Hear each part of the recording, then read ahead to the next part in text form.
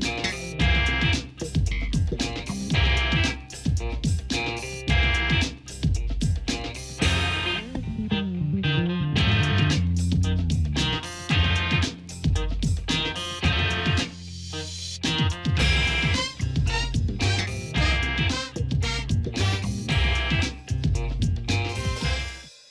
Boa tarde e bem-vindo ao programa das suas tardes da RTP África. Espero que esteja a ter um ótimo dia. O nosso programa vai fazer com que termine a tarde da melhor forma e que tenha ainda mais energia para terminar o dia em beleza. Hoje vamos ter connosco dois elementos do tão conhecido grupo Terracota e vai poder ver a reportagem que preparamos para si. Espero que esteja pronto para embarcar nesta viagem, até porque daqui vamos ter a oportunidade de ver um pouco do mundo a partir de outros olhos ou da lente do nosso primeiro convidado de hoje, Joel Santos. Olá, Joel. Bem-vindo. Primeiro lugar, Como é muito que obrigado estás? pelo convite, Nada por aqui estar. É uma honra, é um prazer. Para nós é que é um prazer. Temos aqui muita coisa para falar e, e muito trabalho para ver.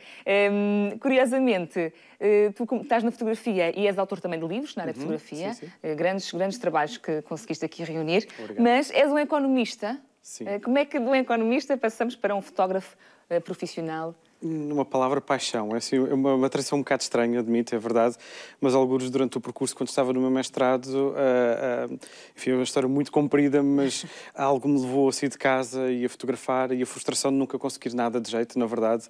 Ah, como cão que não larga um osso, fui tentando fazer melhor e quanto mais fotografava, mais gostava. Comecei um pouco pela, pela paisagem, mas depois, lá iremos na nossa conversa, passei para o retrato e, e a explicação é paixão, pura paixão, pelo aquilo que faço. Começou por ser um hobby, entretanto passou a ser a, a tua profissão, é onde tu Exatamente. exerces toda a Sim, tua sim. atividade. Sim, hoje em dia sim. Ao longo do caminho houve um percurso muito, muito variado, eh, porque mesmo depois de terminar o mestrado fui para Timor-Leste, onde dei durante três anos aulas na Universidade de Economia lá, cada vez mais aprofundava a minha paixão pela fotografia, embora estivesse eh, completamente ocupado pela, enfim, pela, pelas minhas funções lá de, de- de professor. Depois, enfim, é comprido, mas eh, passei a Mas trabalhar foi por um, uma um revista. processo de descoberta, um processo de. Exatamente, Eh, exatamente. inicialmente tinhas esta ideia de que ias estar na área da economia, mas eh, às vezes é, é assim mesmo, porque através de atividades paralelas que vamos tendo, Uhum. descobrimos e, e desenvolvemos paixões. Porque não descobriste a paixão, ela já lá estava. Sim, latente. Sim, meio- mesmo que inconsciente, depois da prática. Depois nasce aqui também, eh, hum, talvez a perfeição, porque. Não, não? não ando- constantemente à procura dela, sei que é, sei que é inalcançável. Continuo, ah, enfim, não há nada que me deixe mais feliz do que fotografar, não só o ato em si, como a- o poder depois de partilhar com, com pessoas e, e poder provocar emoções nelas, obviamente, e poder registrar coisas que, enfim, por definição estão sempre a desaparecer, não, os momentos só acontecem uma vez e, e sinto-me um privilegiado nesse sentido de poder, ah, poder imor- imortalizá-los e poder guardá-los, mas, mas tenho consciência que nunca estou verdadeiramente satisfeito com aquilo que, que faço e que aquela fotografia que, que ambiciono fazer ainda não nasceu e, e se correr bem é de pensar assim até ter qual 90 é a anos. fotografia? Não, não consigo atingir essa insatisfação, mas eu compreendo Sim. que queremos sempre fazer melhor Sim, e dar o sim, nosso melhor. Ah, mas tem- temos aqui bastantes anos de experiência, prémios associados. De onde é que vem a Obrigado. insatisfação? Obrigado. Vem pelo... O que, é, o que é que estás à procura? Uh, vem pelo facto do próprio dia a dia. Portanto, nós, um, uh, ou quando consigo fazer uma imagem que, que, que fico feliz por ela, por representar um momento especial, por ser uma pessoa especial, uma paisagem, tenho aquele período em que fico hum, contente com aquilo que alcancei, mas logo a seguir começo a pensar uh, no que é que poderia ter feito melhor, naquilo que eu gostaria de fazer. Portanto, na verdade é um processo pessoal, não é nada que eu deixe de transparecer. Quer dizer, aqui estou Claro, confidenciar. claro, exatamente, mas, mas é, é- é um, é um- é um processo interno, Sim, não é? sim, Mas sim. isso é- tem, tem a base boa de queremos sempre nos desafiar. Sim, sim. Na eh, verdade é um, é um combustível. É, é isso que me faz querer eh, sair para a rua, tentar fazer mais. melhor e ter hum, consciência que por mais que aprimoremos a nossa, a- o nosso olhar, a nossa técnica, a nossa atenção, há sempre alguém no nosso caminho que nos mostra que podemos fazer um, um bocadinho mais. Mais. E essa procura constante do bocadinho melhor, na verdade, Vais alimenta-me, juntamente com a curiosidade que eu tenho em, em conhecer novas pessoas e novos sítios. Portanto, tudo funciona em conjunto para, para, para tentar fazer fotos como estas que, que aqui estão, estão, e que me trouxeram aqui. Desta viagem que, que fez, fizeste até Timor, aliás, uhum. uh, para, para trabalhar na, na área em que te formaste, uh, também aí foi, foi uma boa ocasião, uma boa oportunidade para começar também a foi, fazer foi, fotografia. Eu não, não estava à espera. A minha agenda, digamos assim, enquanto fotógrafo, uh, é a paisagem, sobretudo porque eu queria apanhar ar e descontrair e, e relaxar de, enfim, das complicações que era estar a fazer o mestrado, mas, mas depois em Timor, uh, como eu não poderia, não podia fotografar às horas que tipicamente eram melhores para o fazer, ou nascer ao pôr do sol por causa dos mosquitos e da malária, portanto tive que reordenar o meu horário fotográfico e canalizá-lo para períodos durante o dia sobretudo os fins de semana, que eram os tempos que eu tinha livres. E durante esses períodos, aquilo que eu encontrei foram pessoas fantásticas, os timorenses, que, que uh, na verdade foram, deram, inspiraram-nos com os seus olhares, com os seus sorrisos, a começar a fazer retrato e a partir daí nasce todo um segundo ramo, digamos assim, da minha fotografia ligada às pessoas e à documentação do, do, do dia a dia, das vidas, uh, que eu ainda hoje transporto naquilo que, Consegues que faço. Consegues alguma, alguma preferência? Não, não consigo, não. é impossível. Eu, paisagem, retrato. Eu, hum... eu adoro a paisagem pelo. Uh, porque normalmente é uma coisa que até faço sozinho, portanto gosto dessa, dessa solidão e da, e da capacidade de, de, compreender um bocadinho melhor o ritmo da natureza, como é que as coisas se processam, como é que a luz evolui e, e, e ficar espantado, na verdade, com os espetáculos que a natureza nos dá sem cobrar nada, por enquanto mas depois também sou uma pessoa uh, que uh, tenho muito, sim, tenho, tenho, muita curiosidade e, e, gosto muito de conhecer pessoas e gosto muito de perceber que a felicidade não vem necessariamente daquilo que eu acho que me traz felicidade e, e, e desde crianças a pessoas mais idosas elas vão mostrando como pequenas coisas, coisas que eu às vezes não prestava atenção aqui, uh, presto atenção enquanto viajo e abro os meus sentidos. E então gosto muito do contacto com pessoas, cresço imenso internamente enquanto pessoa e, e na verdade não há nada que, que explique a, a, emoção que se sente quando, quando se olha para a, para a expressão facial de uma, de uma pessoa. Portanto, as duas vertentes dão-me prazeres diferentes, dão-me satisfações diferentes e cada vez mais tento conjugar aquilo que eu julgo que posso fazer de melhor em paisagem com aquilo que eu julgo que posso fazer de melhor em retrato e unir. Eh, portanto, se calhar esse é o, é o caminho ao longo do, do, tempo. Podemos dizer que há aqui uma visão privilegiada a partir da lente que só alguns especiais conseguem captar, porque eu bem poderia tentar e não ia ah. ter... É uma questão de sensibilidade e também de, de talento, hum. mas a lente dá-nos uma visão diferente. Sim, obrigado. Obrigado pelas palavras. Eu considero uma pessoa normal. Simplesmente sou muito apaixonado por aquilo que, que faço e de facto, às vezes tenho amigos que me perguntam, e pessoas conhecidas, se tu estás sempre atrás da câmara, não estás bem a prestar atenção, não estás a ver o que é que se está a passar. E na verdade eu considero que estou a ver muito mais, porque o facto de estar constantemente a procurar a forma como a luz ilumina as pessoas, como é que na verdade as coisas no futuro se vão processar com aquela pessoa que se está a movimentar no espaço, eu até julgo que acabo por desfrutar e, e ver mais detalhes, mais pormenores do que veria se fosse simplesmente um observador uh, de passagem, até porque eu nunca ficaria tanto tempo. Eu chego a ficar horas no mesmo sítio para ter a luz que, que desejo e, e, isso um obriga-me. persistência também. Exato, é, é, é, claro. E toda essa persistência, toda esta experiência também resultou em compilações, se é assim que podemos chamar, sim, ou retratar, sim, também sim. neste caso em livros, uhum. uh, que nós temos aqui uh, exemplares, uhum. uh, todo este trabalho e isto acaba por ser extremamente pedagógico, pelo menos o Fotografia, que é o teu best-seller, não é? Isto foi um grande auxílio na área da fotografia uhum. e uma obra também de referência para muitos fotógrafos que estejam a começar ou na continuidade do seu trabalho. Uhum. Um, e tens aqui um conjunto de, de, de trabalhos que, que, certamente também contam a sua história e também a história da fotografia. Exatamente. Eu, eu, eu, ao fim e ao cabo, eu, eu, tentei escrever todos estes livros. Eu, quando comecei a fotografar, não tive ninguém que me ajudasse muito nesse processo, exceto uma, uma, uma pessoa, o José Antunes, que me incentivou bastante, mas uh, quase todo o caminho foi percorrido sozinho. E é recorrente e... quando da necessidade encontramos também a oportunidade, porque daí exatamente, pensaste, exatamente. bem, quero pensei, ajudar, porque sim, não tive ajuda. Sim, eu, quero, eu queria, e ainda hoje quero, escrever os livros que eu gostaria de ter lido, e portanto é com esse espírito que, que, os, uh, que os escrevi. E ao fim e ao cabo isto também é a minha forma de, eu julgo que devo muito à fotografia de várias maneiras.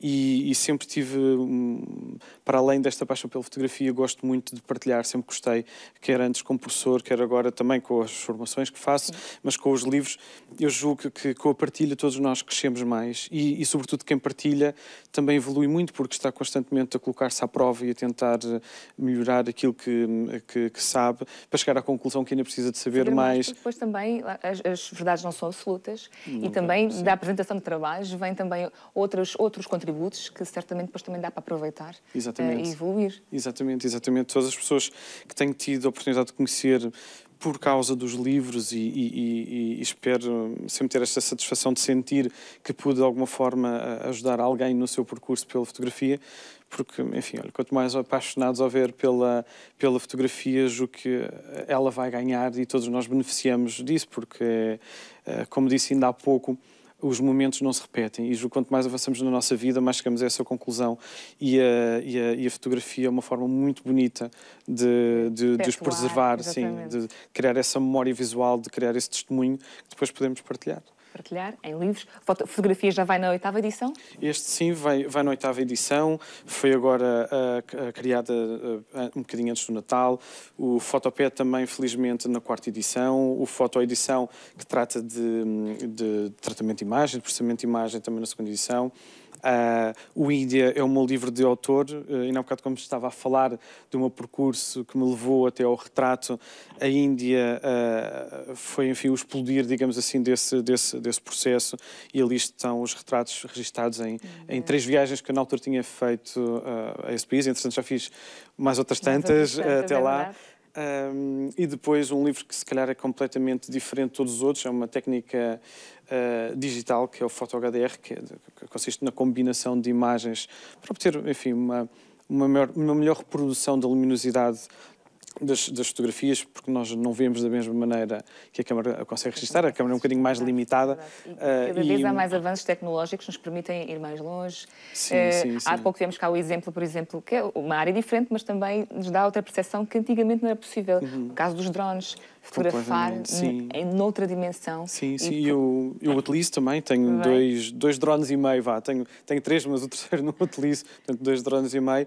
A fotografia aérea também é, também é apaixonante, tem outras regras, tem outros cuidados que, que são precisos ter, uh, experiência também, mas, mas sim, o avanço tecnológico é impressionante. Eu, eu comecei a fotografar em, em 2003, portanto foi o início da fotografia digital foi o, o, a altura em que apareceram as primeiras câmaras que se poderiam, enfim, que eram fáceis de comprar para, para o consumo. E quando digo fáceis, eram, eram caras ainda assim. Sim.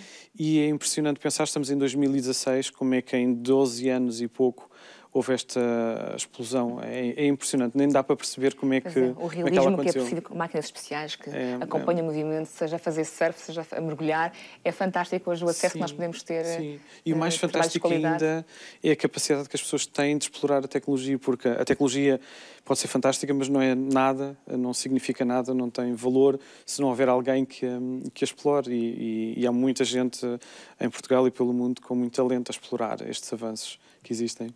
Nós temos também aqui o Fotocomposição, que é o mais recente. É, o Fotocomposição é o mais, é o mais recente. Uh, depois de concluída aquela trilogia, portanto, a fotografia para ajudar a, a, a fotografar, o fotopad para terreno e a fotoedição para editar as imagens em casa, faltava de facto aquilo que quase toda a gente pergunta, que é depois de eu identificar o meu motivo, de ter a luz correta, como é que eu pego neste retângulozinho que aqui tenho e como é que, ao fim e ao cabo, enquadro, ou melhor dizendo, como é que eu penso a, a composição de maneira a que a mensagem visual que se está a tentar construir seja o mais eficaz possível.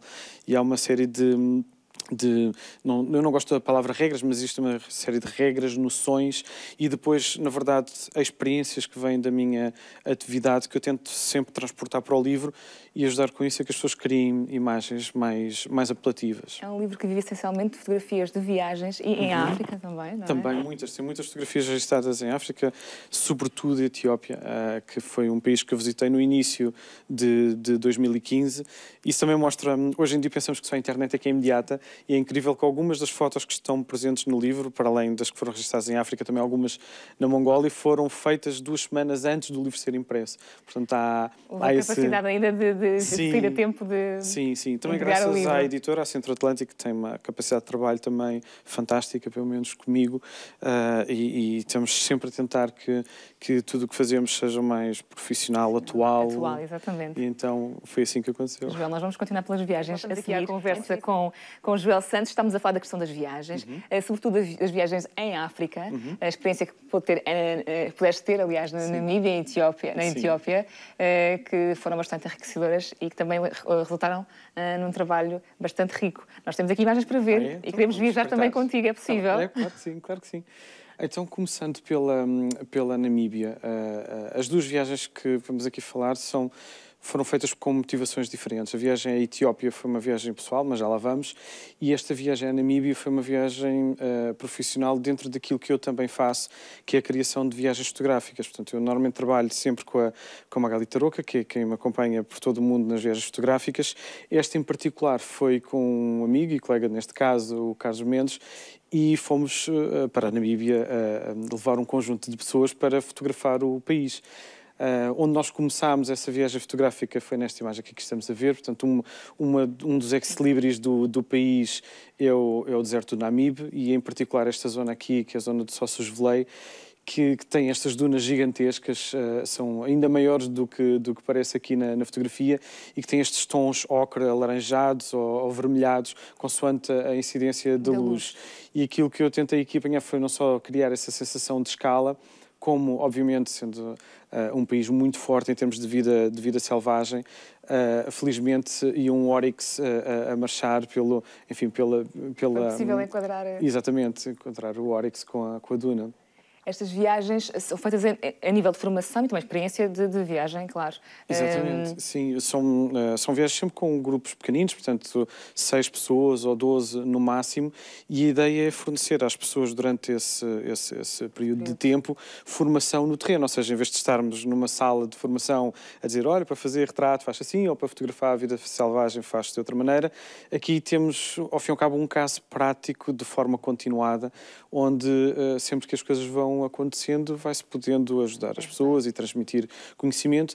E mais do que isso, até porque não é bem uma sala de formação, é uh, uh, criar as oportunidades fotográficas, ou seja, se calhar enquanto turistas viríamos aqui a esta, a esta área a uma hora qualquer, portanto, e como chegássemos era como faríamos as fotos, neste caso aqui houve a preocupação de chegar ao parque antes do nascer do sol, uh, identificar o melhor sítio e depois, à medida que a luz ia evoluindo, uh, fazer as fotografias. Portanto, também essa experiência de terreno, que não é necessariamente, olha, onde é que está este menu na câmara, é uma, uma experiência de como reagir à luz e às circunstâncias no terreno. Pôr em prática também e no cenário bastante rico como sim, este. Sim, sim, sim, sim exatamente. Vamos passar à, próxima imagem.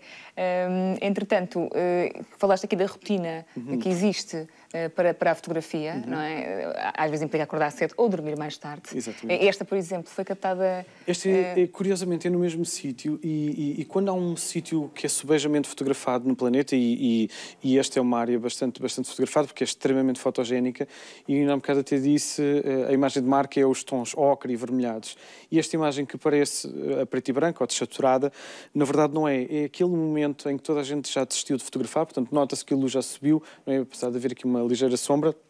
Uh, mas esta foto é feita em puro contra-luz. Portanto, o sol está aqui escondido fora da televisão e criou durante dois ou três minutos esta linha de luz que permite desenhar a, a duna. E por ser em contra-luz, obviamente a cor não vem, fica, fica mais, uh, enfim, pálida, desaturada e permitiu-me criar uma imagem que é diferente daquilo que eu conhecia.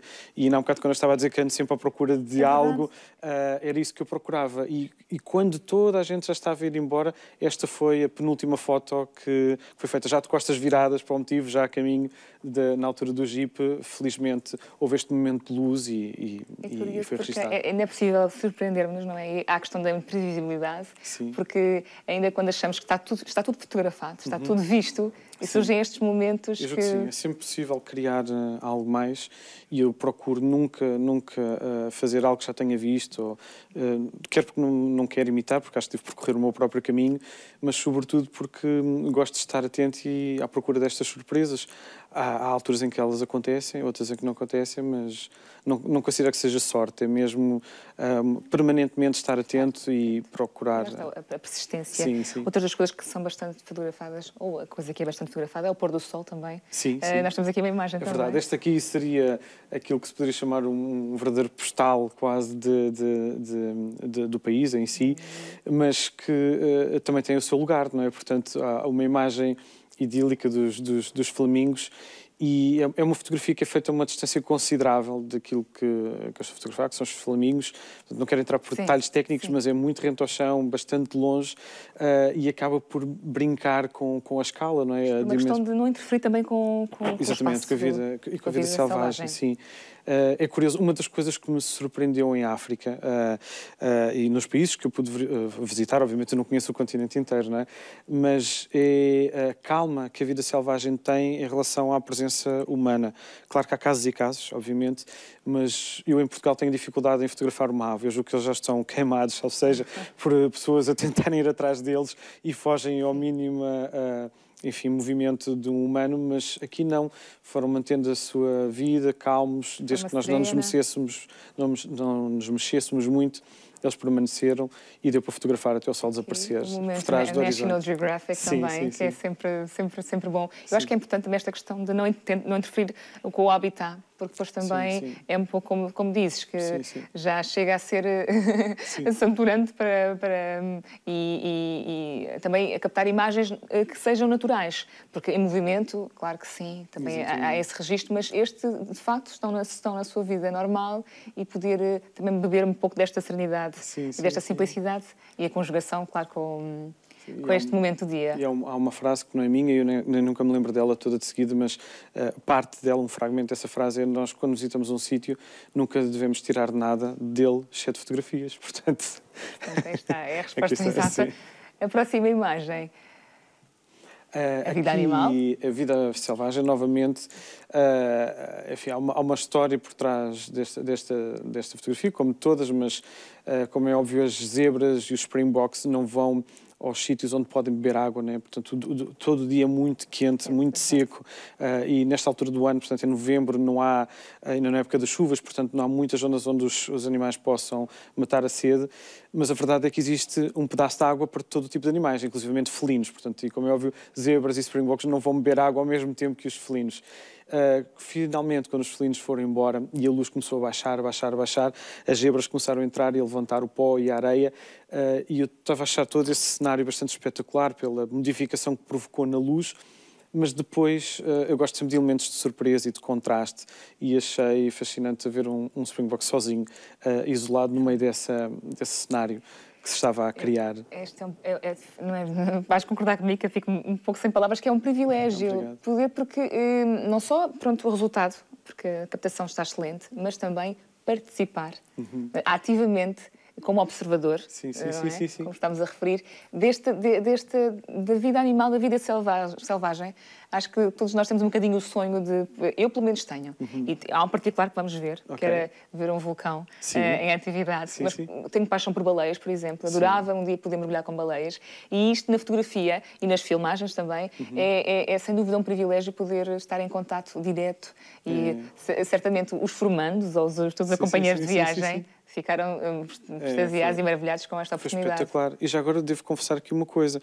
Se forem ver o meu trabalho, eu nunca mostro uh, imagens de vida selvagem, portanto é quase aqui um exclusivo para, ah, e para programas. Muito com coloquei, isso. Coloquei também no meu Facebook, é óbvio, irei colocar no meu site mas uh, uh, só para mostrar como é especial o, o, país e a vida selvagem e o continente, claro. claro Porque sim. mostro sempre retrato e paisagem é a primeira vez que estou a mostrar é, a vida selvagem. Qual é a, a, razão desta opção? É uma, é uma, é uma opção, uh, de, de mesmo, pela mesma razão que não mostro muita fotografia urbana, acho que iria baralhar demasiado as pessoas, como da mesma forma que julgo que 99,9% das imagens que mostro são a cores, nunca, nunca a preto e branco, e no entanto adoro preto e branco, mas nunca o mostro portanto, se calhar quando tiver 50 anos começo a mostrar, mas até lá vou mostrando os trabalhos em, em cor e um dia mais tarde, quando fizer sentido, mostro, mostro que tenho preto e branco. Ainda assim, acho que temos mais uma imagem da vida Sim, selvagem, não é? É. Aqui está. Esta aqui trouxe, não, não tanto por, hum, por achar que foi uma das melhores imagens que lá fiz, mas pela raridade que é, é encontrar um, um, leopardo. Portanto, é dos, é dos animais mais esquivos, mais discretos, mais, uh, enfim, difíceis de, de, encontrar e fotografar. Uh, e tive o privilégio de eu e um conjunto de pessoas que felizmente estavam no mesmo jeep que eu, que eram mais quatro ou cinco pessoas, nós estávamos divididos em, em dois para não, precisamente para não perturbar, mas uh, uh, uh, um leopardo à frente do, do, do nosso caminho e estabeleceu contacto visual durante dois ou três segundos, que é esta imagem, e depois desapareceu. Portanto, foram, foram quatro ou cinco dias a sonhar em conversas, em, em, em comentários entre nós, quem nos der encontrar o leopardo, uh, uh, encontramos uh, e durou 60 segundos. Esse momento e dois ou três segundos o olhar dele para perceber quem é que nós éramos e depois uh, continuou o seu caminho. Exatamente. Qual era a distância aproximada que estavam? Este aqui deveria estar a uns sou mal com essas distâncias, mas eu diria que no, no, mínimo estaria uns 50 metros, mais ou menos, 50 metros. Não, não muito longe, não muito longe. Uh, felizmente, felizmente, mesmo, mesmo com as câmaras que estavam a utilizar, que permitem fotografar a, a uma distância considerável, ele, ele não passou muito longe de nós. Acho que qualquer pessoa que uh, uh, fotografa a vida, a vida selvagem tem aquela ideia de querer fotografar os Big Five. Sim. Uh, e nesta oportunidade, então, foi, foi, um, foi, um, foi um prémio. Sim, sim, os cinco foi... animais mais, mais, mais desejo de onde fotografar, pelo menos. Sim, sim. Houve outros, eu não trouxe aqui todos, mas, sim, claro, mas, claro. mas houve outros. Este foi, foi pelo momento de ser tão especial, porque temos sonhado tanto Uh, e depois, ele ter aparecido. Exatamente. Com o Joel, estávamos aqui a fazer uma viagem deliciosa pela Namíbia. Obrigado. Vamos passar para a Etiópia e ver sim. também o que é que nos trouxeste desta, desta expedição. Podemos dizer assim também, não sim, é? Sim, sim, podemos. Um... Então, como, como ainda há um bocado acabei por levantar um pouco o véu, esta, esta viagem foi uma viagem a título pessoal, foi feita também com um amigo, com o Francisco, Lisboa, e, e já há uns anos que, que, eu sonhava visitar a Etiópia e resolvi ir lá, uh, portanto, a título pessoal. E havia três zonas em particular que, que eu tinha muito interesse em visitar. O norte da Etiópia, junto à, à Somália Eritreira, uma zona que se chama Depressão de Danakil, que, que é, ao fim e ao cabo, onde esta imagem nasce, e outra que vamos ver mais à frente. Uh, e depois a zona de Ladribela, das igrejas, e depois as tribos uh, no, no, sul. Portanto, mas começando pelo, pelo norte, há, há, esta zona de facto incrível que é um, que é um deserto de sal. Uh, ao fim e ao cabo, há, há, uns, há, uns, bons anos atrás, muito bons anos atrás, o Mar Vermelho inundou esta zona do, do território etíope e depois, quando a água evaporou, deixou um depósito de sal gigantesco. Portanto, à semelhança do que acontece Sim. também na Bolívia com o salar do Iuni, mas por razões mas diferentes. também pensar que já estive também no Death Valley, é, também existe lá uma. uma... Sim, Sim, também tem, também, também tem um deserto de sal, então, exatamente. Então, pronto, deserto de sal. Uh, e então esta, esta zona aqui uh, uh, e esta imagem particular, aquilo que nós vemos aqui é uma caravana de, de dromedários que são utilizados para transportar o sal que estes senhores, os mineiros de sal, vão recortando. Portanto, eles utilizam ferramentas rudimentares, machados, vão uh, batendo no chão até retirar pedaços que depois são talhados como se fossem uns tijolos e são colocados uh, às costas, portanto, do, dos dromedários e são transportados depois para, para venda.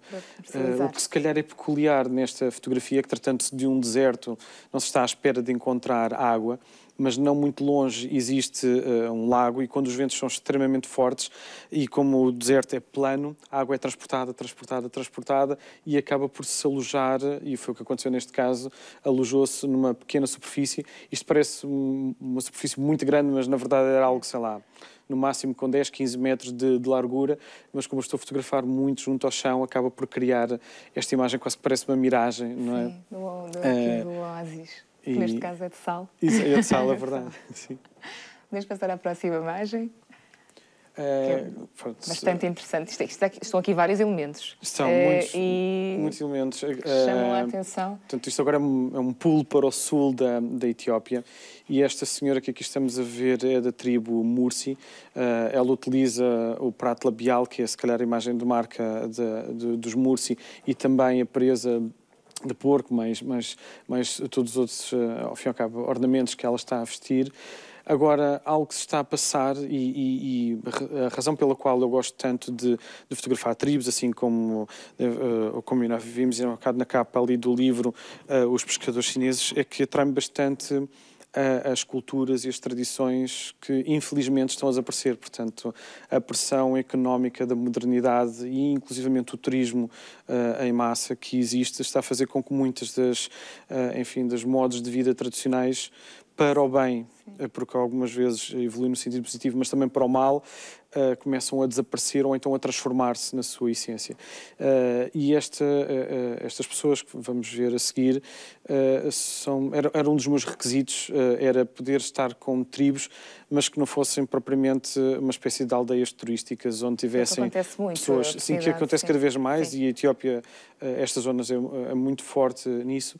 Mas, por exemplo, esta tribo em particular, chegámos à noite, houve toda uma, uma, uma, uma sessão, digamos assim, de convívio uh, com, com as pessoas da, da, da, tribo, mas não, não, não planeada. Dormimos no chão, na, na rua, uh, para, para, para, estarmos com eles, e só depois é que lentamente se começou a poder e a conseguir eh, fotografar. E, portanto, há esta imagem como outras que veremos, e o mesmo se passou com todas as tribos que, que visitei nesta este, zona. Este contato prévio é essencial.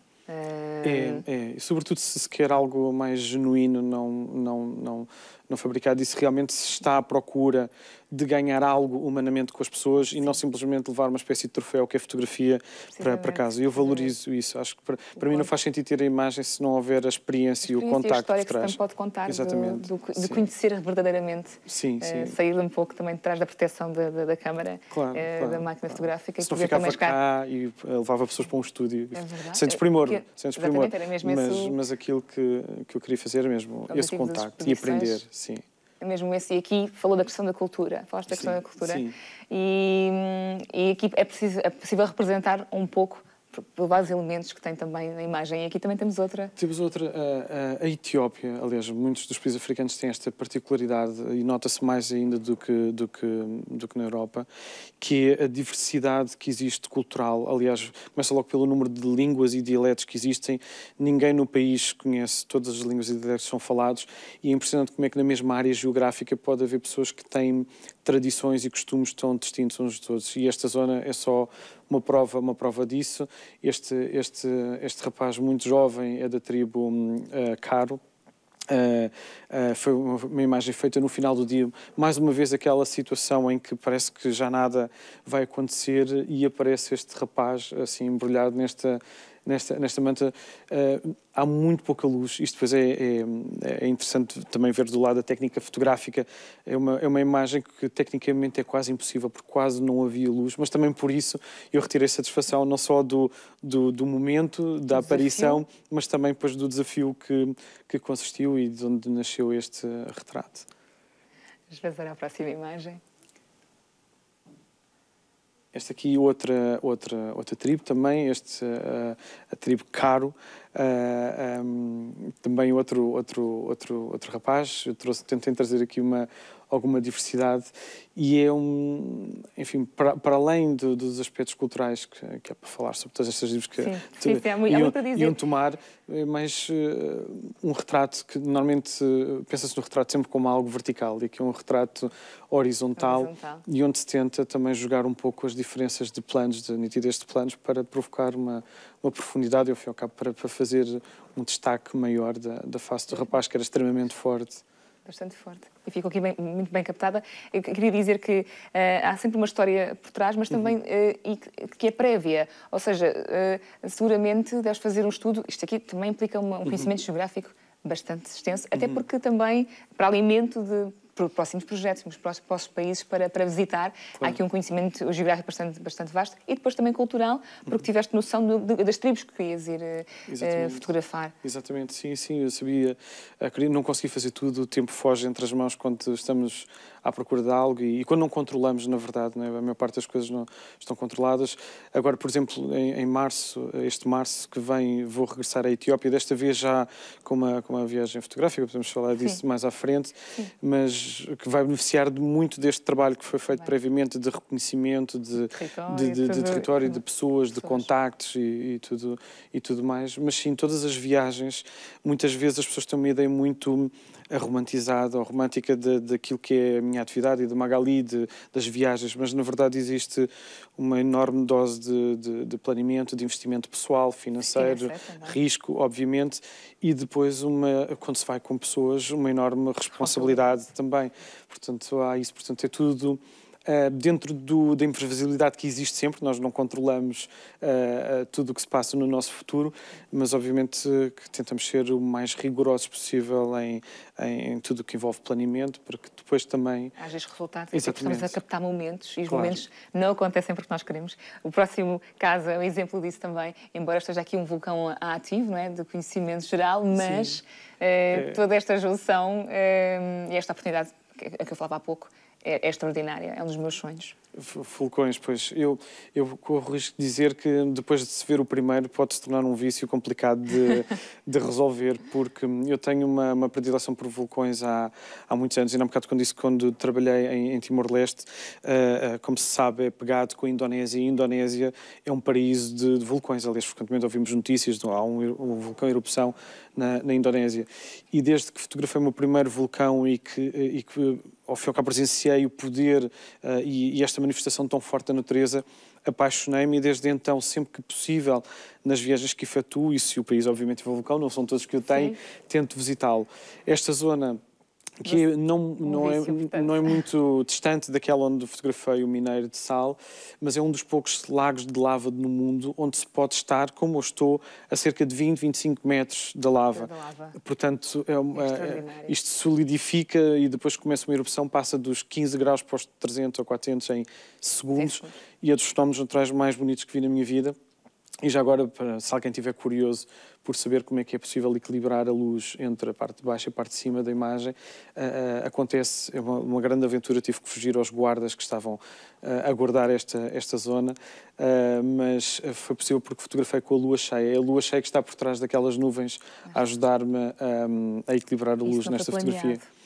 Uh, foi a partir do momento em que lá cheguei. Eu cheguei lá às nove da noite, que... a Luna nasceu, verifiquei que nasceria à uma e meia da manhã, mas os guardas forçaram-nos a, a, ir para, para os nossos aposentos, aposentos que é um, enfim, uma, uh, um sítio onde se dorme ao ar livre, né?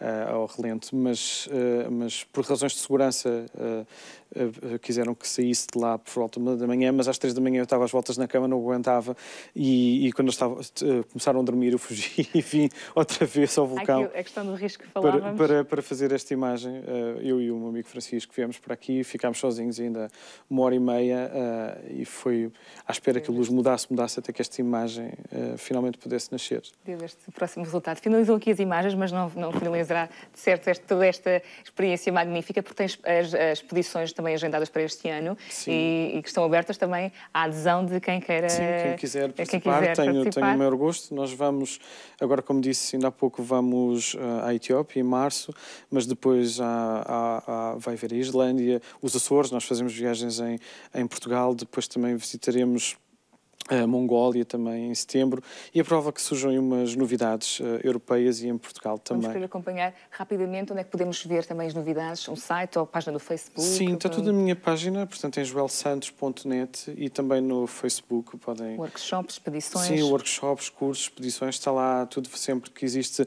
uma data nova nós vamos lá colocando e está tudo, quem quiser, obviamente eu e a Magali temos o maior gosto em receber as pessoas e partilhar a nossa paixão com elas. Muito obrigada pela partilha aqui do Bem-vindo, Obrigado, eu, obrigado mais uma vez pelo convite. Nada, era essa e até a próxima oportunidade de nos contar mais histórias. Certamente, obrigado. Até a próxima.